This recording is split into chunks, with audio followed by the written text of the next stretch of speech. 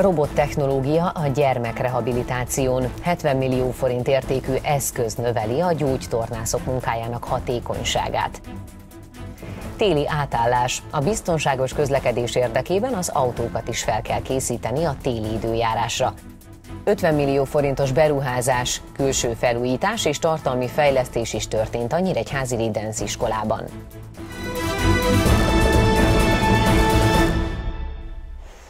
Robottechnológia segíti a gyógyítást egy hónapon keresztül a Józsa András Oktató Kórház gyermekrehabilitációs osztályán. A Kölcsei Televízió híradóját látják. Köszöntöm Önöket! Az összesen hat részből álló komplex fejlesztő gépből három elemet tesztel a kórház. Ezeknek az értéke közel 70 millió forint. A rehabilitációs technika sok gyakorlással segíti elő, főként a gyerekeknél a motoros károsodások javulását. 30 ágyon évente 300 fekvő és több mint 3000 járó beteget kezelnek a Nyíregyházi Jósa András Oktató Kórház gyermekrehabilitációs osztályán főként a valamilyen agyi károsodás következtében létrejött mozgásfogyatékossággal élő gyermekeket látják el. A csoportos és egyéni gyógytorna mellett logopédiai és zeneterápiás fejlesztő foglalkozásokat is tartanak. Az elmúlt évek alatt pedig folyamatosan bővült az ellátási skála, legutóbb a robotasszisztált terápia bevezetésének feltételeit teremtette meg a három üzembe helyezett berendezés. Ezek a precíz pontos gépek ugyanazt a mozdulatot képesek elvégezni, akár a terápia alkalmával 500-szor is. Ez azért fontos, hogy rögzüljön a, a, az agyban, hogy ö, ö, a későbbiekben a terápia során újból ö, ö, a, ezeket a feladatokat kellőképpen tudják elvégezni. Az eszközöket Ausztriában fejlesztették ki, a felső végtagi rehabilitációban a világ legfejlettebb technikája. A robotasszisztált technológia segítségével a mozgás javulását segítő mozgásokat tudják gyakorolni és ismételni a gyerekek egy digitalizált technológián keresztül egy játékos feladat helyzetbe téve tudja a gyermek végrehajtani, ezáltal sokkal hosszabb időn keresztül tudjuk a motiváltságát fenntartani, sokkal hosszabb idei, időn keresztül tudjuk a terápiát végezni, és ezáltal a terápiának a hatékonysága fog megnézni, megnőni, és ezáltal egy borzasztóan jó kiegészítő eszköz a mindennapi gyógytornában, illetve a rendszeres gyógytornában a gyerekek számára. Az egy órás gyakorlatvégzés közben a gyógytornász más gyerekekkel is tud foglalkozni, vagy egyéb feladatokat tud ellátni, hiszen a gépek mellé csak egy felügyelőt kell biztosítani. Így nem csak a gyerekek gyógyulhatnak gyorsabban, a humán erőforrás kihasználása is hatékonyabb lehet a kórházban. Éppen azon gondolkodtam, hogy a gyerekrehabilitáció alapvetően nem egy eszközigényes terület, hiszen a tornateremben segédeszközökkel dolgoznak a gyerekek a gyújtornászokkal. Most viszont arra van lehetőségünk, hogy egy igen komoly robottechnológiára épülő eszközt próbáljunk ki, ami nyilván egy nagy értékű eszköz, de a gyerekek fejlesztésében jelentősen tud segíteni a gyújtornászainknak. Ha a következő egy hónap szakmai tapasztalatai azt mutatják, hogy érdemes beszerezni a készüléket, a kórház vezetősége azt tervezi, hogy minden lehetőséget megkeresnek ennek finanszírozására. A biztonságos közlekedés érdekében az autókat is fel kell készíteni a hideg időjárásra. A szakemberek szerint jobb, ha szervízben nézik át a járműveket, mivel csak itt tudják például ellenőrizni a fékek megfelelő működését. A téli átállásnál fontos a nyári gumikat átcserélni a téli szetre. Ezt akkor javasolt, amikor a napi átlaghőmérséklet már csak a 7 Celsius fokot éri el csúszós havas utak, szerencsére ez az időjárás még hosszú hetekig nem fenyegeti hazánkat, az autónkat viszont még jóval a téli időjárás előtt fel kell készíteni. Az autózásban két szezon, a téli és a nyári között teszünk különbséget. A téli időszámításnak nagyobb jelentősége van, mivel azokban a hónapokban nagyobb igénybevételnek tesszük ki az autókat, ezért szükséges minden esetben az átfogó ellenőrzés szakemberek segítségével. Az időszakos karbantartás lényege tulajdonképpen az, hogy az autót felkészítsük a megváltozott időjárási körülményekre, ami mondjuk egy korai sötétedés esetén a megfelelő világító berendezések ellenőrzése, hogy minden lámpánk ég, a tompított fényszóró, ködlámpa, ködzárfény, irányjelzők megfelelően működnek-e, a fékek megfelelően fognak-e, nincsenek elkopva a fékbetétek, féktárcsák, megfelelő hatásokuk, ezt egy fékhatásmérő padon tudjuk ellenőrizni, megfelelő helyen, szakszervízben, illetve a futóművek ellenőrzése történik, ami mondjuk ugyanúgy egy futómű ellenőrző padon, lengéscsillapítás méréssel és átvizsgálással történik. Hogyha ezek megfeleltek az előírásoknak, akkor az autó alkalmas a téli közlekedésre. Egy másik kulcskérdés a téli felkészítésnél a gumicsere. Átszerelés előtt érdemes megvizsgálni a gumik állapotát, hogy biztos nem sérültek vagy repedezettek, illetve ellenőrizni, hogy mennyire kopottak, mivel egy téli gumi esetében az úgynevezett profilmélységnek 4 mm-nek kell lenni. A legtöbb autós ismeri azt az iratlan szabályt, hogy akkor kell téli gumira váltani, amikor az átlag hőmérséklet 7 Celsius fok alá csökken, mert a nyári gumi anyaga ez alatt a hőmérséklet alatt megkeményedik és veszít a tapadásából. Ez a 7 fok azt is jelenti, hogy éjszaka már mínuszfokokat mérhetünk, így éjszaka közlekedve még baleset veszélyesebbé válhat a nyári gumik használata. A téli gumi anyagából adódóan más profilszerkezettel rendelkezik, ezáltal jobb a vízelvezető képessége, illetve nagyobb a tapadása latyakos, havas, rosszabb minőségi úton, illetve láthatjuk azt, hogy megfelelő a profilmélység, sőt, túl is mutat a 4 mm-en. A nyári gumi azért nem megfelelő a téli használatra, mert nem tudja úgy elvezetni a, a latyakot, havat, és hideg időben nem képes úgy tapadni mondjuk, mint melegben.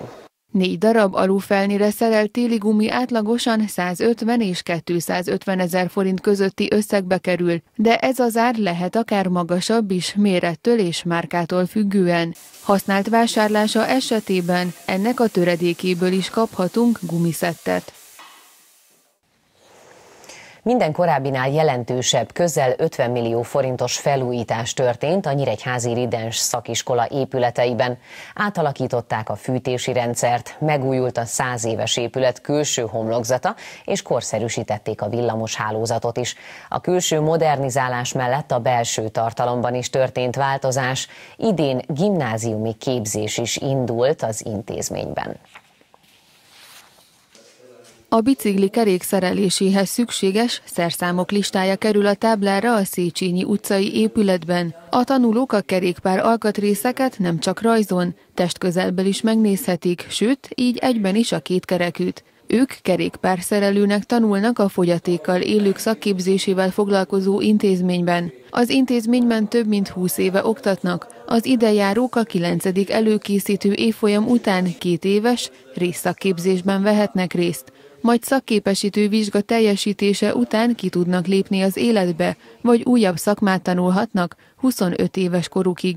A képzés három épületben folyik. A rózsaszín épületet újonnan építették, ott ugye 20 év alatt nem használódott el olyan mértékben, mint a zöld épület, ami száz év, az angol kisasszonyok száz éves épülete, illetve van egy udvari épületünk, ami akkor kevésbé volt felújítva, folyamatos felújításra szorul most, és itt valósult meg az energetikai beruházás. Átalakították a fűtési rendszert, emellett megújult a száz éves épület külső homlokzata, a villamos hálózat, folyosókat festettek, tantermeket burkoltak és új esővíz elvezető rendszert építettek ki. A Nyíregyházi Tankerületi Központ fenntartásában működő iskolát közel 49 millió forintból modernizálták és további fejlesztéseket terveznek az idei tanévben is. A szigetelés az egyik legfontosabb az energetikai beruházások után, és a régi angol kisasszonyok épületének is felújítják az ablakait. Azt nem lehet műanyagra cserélni, viszont a régi faablakokat felújítani nem kis feladat lesz.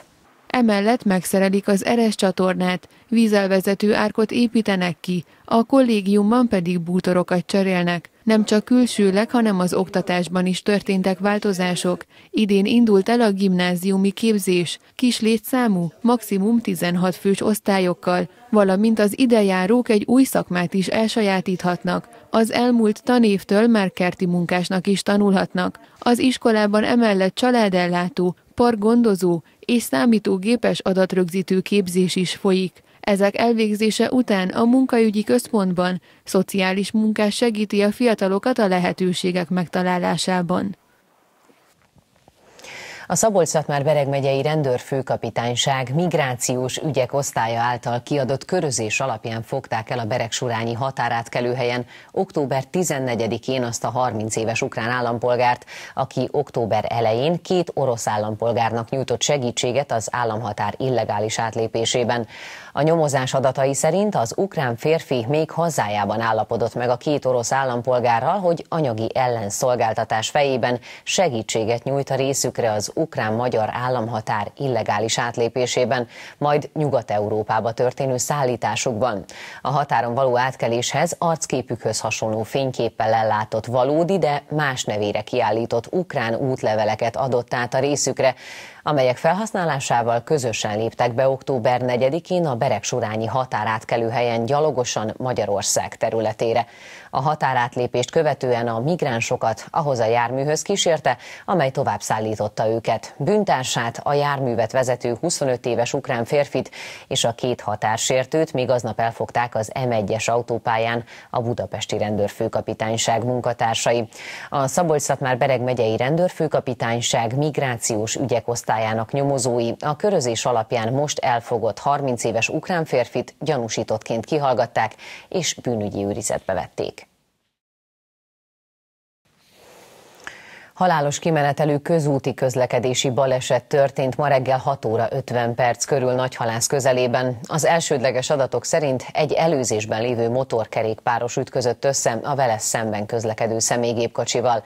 A baleset következtében a motorkerékpárt vezető férfi a helyszínen életét vesztette, a gépkocsiban utazók közül pedig ketten megsérültek.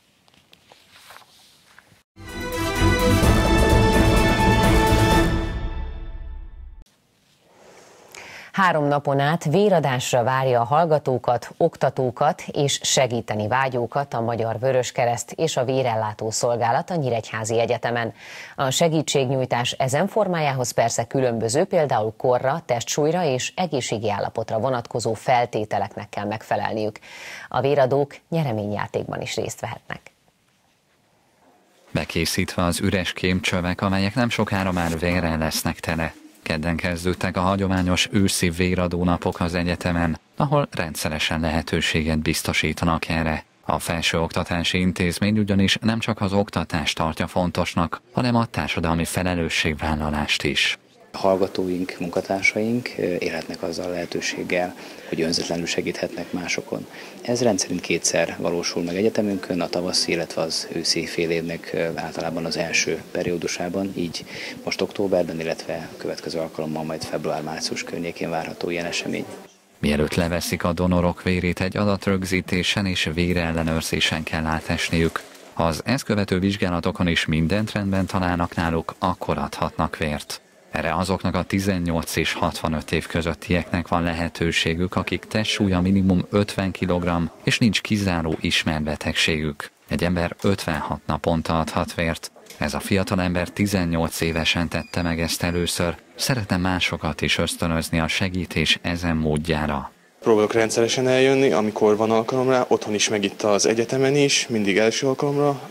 Ha sikerül, ha van órám, akkor viszont nem tudok eljönni időbe, viszont legtöbbször van időm, és azért tartom fontosnak, mivel hogy mint nekem, én is ritka nulla negatívos vércsoportú vagyok, fontos, hogy másoknak segítsünk ezzel. Tehát, hogy másoknak, akinek szükség van vérpótlásra, lehetőséget adjunk, hogy hát vérhez jussanak.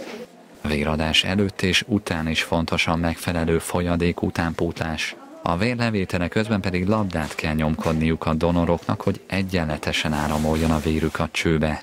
Sokan csak akkor találkoznak az önkéntesség ezen formájával, amikor irányított véradás keretében mennek el valamelyik ismerősüknek segíteni. A vérpótlásra azonban folyamatosan szükség van, ehhez pedig különösen fontos a fiatalok megszólítása és motiválása. Egy egyetemi képzésben résztvevőről joggal feltételezzük, hogy a jövő értelmiségi generációját fogja képviselni, tehát az, hogy ők majd a saját munkahelyükön, közegükben hogyan viselkednek, hogyan mutatnak példát másoknak, az nagyon fontos. Ez az a korosztály, aki pont belép a véradói korosztályba, tehát éppen elmúlnak 18 évesek, életkorukból fakadóan kicsattanóan egészségesek. A lányok esetében szokott esetleg az 50 kiló problémát okozni, hogy nem érik el, de egyébként ők lennének azok, akik a folyamatos utánpótlásról tudnának gondoskodni hosszú éveken át.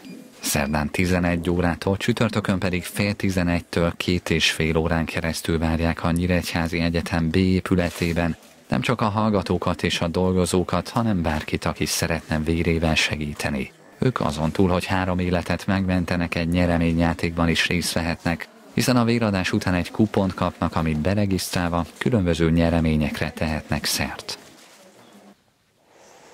UV képekből nyílt kiállítás a Nyíregyházi Móricz Zsigmond megyei és városi könyvtárban. Három festő alkotásai mellett egy nyíregyházi fotós képei is speciális megvilágítást kaptak. A különleges kiállítás november 4-ig látható a könyvtár kamaratermében. Nem mindennapi technikával készült képek színesítik a Móricz Zsigmond könyvtár falait. Az Úvilágító Tornyok címet viselő kiállítás azokat az érdeklődőket várja, akik szeretnének látni egy speciális lámpákkal megvilágított misztikus világot. Mindezt a sötétben. A kiállítás ötlete Mihálka Györgytől, művész nevén Bőröntől származik. Angyalokat festegettem, tehát így mm, játszogattam mindenféle formával, tehát ilyen ö, space hangulatokat fogalmaztam meg. Tehát semmiképpen sem földi, anyagi dolgokat fogalmaztam meg, hanem inkább ilyen légies, űri dolgokat, repülő piramisok, meg repülő fák, meg mit tudom én, tehát ilyen játszottam. A kiállítás megnyitóját élő testfestés és a Princess Balett iskola növendékeinek különleges koreográfiája színesítette. Az Átutazók Művészeti Egyesület által létrejött kiállításhoz egy szentendrei alkotó is kapcsolódott, Sipeki Péter nyíregyházi fotós képei és a győri Pap Norbert festményei is láthatóak a tárlaton. Mindenképpen UV fény alatt kell csinálni éjszaka sötétben, és ez egy kicsit adna egy ilyen misztikus aurát már az egésznek, plusz már a képek témája és inkább a misztika felé hajlik, úgyhogy ez a kettő így kéz a kézbe jár, igen. Sokat ad hozzá alkotás közben is ehhez a elmélyüléshez. A művészekkel hosszabb interjút és még több képet a péntek esti Weekend című műsorunkban láthatnak.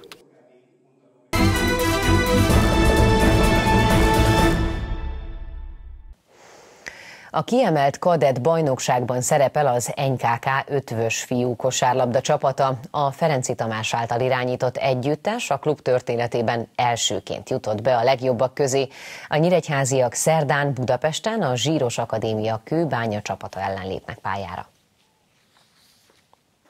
Az utánpótlás neveléssel foglalkozó NKK a legkisebbektől kezdve a kadett korosztálya bezárólag versenyeztett csapatokat. Az elmúlt két szezonban a serdülő együttes megnyerte a regionális bajnokságokban győztes csapatok országos döntőjét, így a szövetség az U16-os korosztályban induló 108 együttes közül a 32-es főtáblára sorolta a nyíregyháziakat. A selejtezőből már a kiemelt bajnokságba juthattak be Ferenci Tamás tanítványai.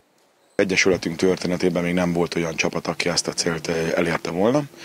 Kettő fordulót játszottunk, ugye selejtező fordulót, az elsőt hazai pályán mi rendeztük meg. Kaposvár csapatától kikaptunk, de sikerült megvennünk a Paks és a Kecskeméti Akadémia B csapatát. A második fordulóban az ország egyik legmodernebb és legjobban felszerelt akadémiai pályára, Pécsre, a Nemzeti Kosárlabda Akadémia pályájára utaztunk, úgynevezett Rádgéber Egyetem csapat ellen játszottunk. Az első mérkőzésen megvertünk vertük a Szombathely B csapatát, második mérkőzésen szinte a sírból hoztuk vissza, és sikerült öt ponttal megverni a Veszprém csapatát, harmadik mérkőzésen kikaptunk a Rádgéber Akadémia csapatától, de a két győzelem elég volt ahhoz, hogy kivívjuk a helyünket a kiemelt csapatok között, és a kelet-magyarországi legjobb nyolc csapat közé sikerült így bekerülnünk. A kiemelt bajnokság keleti csoportjában hét akadémiai együttessel kell játszaniuk a nyíregyháziaknak, akik így korábban nem tapasztalt erősségű csapatok ellen léphetnek pályára. Tavaly a regionális bajnokságban játszottunk, többször nyertünk, 20-30-40-50, nem volt ritka a 100 pontos különbség is, amikor mérkőzéseket nyertünk. Mondtam, hogy ez most valószínűleg meg fog majd fordulni. Olyan csapatokkal fogunk játszani, akiknek a gerincét korosztályos válogatott játékosok alkotják, és elképzelhető, hogy mi leszünk azok, akik ilyen arányú vereségeket szenvedünk. Kettő mérkőzést játszottunk, látszik rajtuk, hogy nem esik nekik jól, nem ehhez vannak szokva, de még egyszer mondom, hogy ezekből a mérkőzésekből ők az egyéni játékos pályafutásuk szempontjából, mi a csapat szempontjából biztos, hogy hosszú távon csak profitálni tudunk. Az NKK ötvös a Kecskeméti Kosárlabda Akadémiától és az Óbudai Kosárlabda Akadémiától szenvedett vereséget. Szerdán Budapesten a Zsíros Akadémia kőbánya A ellen lépnek pályára Ferenci Tamás tanítványai. Híradunk végén nézzük a legfontosabb híreket még egyszer, röviden. Robottechnológia segíti a gyógyítást egy hónapon keresztül a Józsa András Oktató Kórház gyermekrehabilitációs osztályán. Az összesen hat részből álló komplex fejlesztőgépből három elemet tesztel a kórház. Ezeknek az értéke közel 70 millió forint. A rehabilitációs technika sok gyakorlással segíti elő főként a gyerekeknél a motoros károsodások javulását. A biztonságos közlekedés érdekében az autókat is fel kell készíteni a hideg időjárásra. A szakemberek szerint jobb, ha szervízben nézik át a járműveket, mivel csak itt tudják például ellenőrizni a fék megfelelő működését. A téli átállásnál fontos a nyári gumikat átcserélni a téli szetre, ezt akkor javasolt megtenni, amikor a napi átlag hőmérséklet már nem éri el a 7 Celsius fokot. Minden korábbinál jelentősebb, közel 50 millió forintos felújítás történt a Nyíregyházi Rédens szakközépiskola épületeiben. A külső modernizálás mellett a belső tartalomban is történtek változások. Tavaly új, kerti munkás, idén pedig gimnáziumi képzés is elindult a több mint 20 éve oktató intézményben. A fejlesztések sorait nem áll meg, hamarosan újabbak valósulhatnak meg.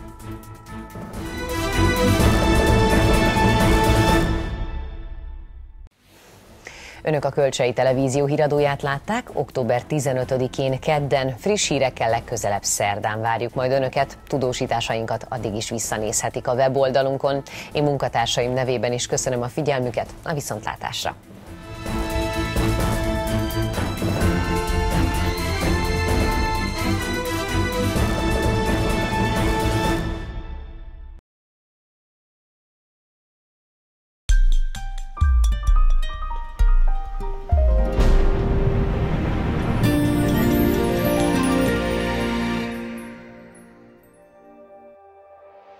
Éjszaka párássá válik a levegő, foltokban köd is képződhet, csapadék nem lesz. A déli szél helyenként megélénkül, a legalacsonyabb éjszakai hőmérséklet 7 Celsius fok körül alakul.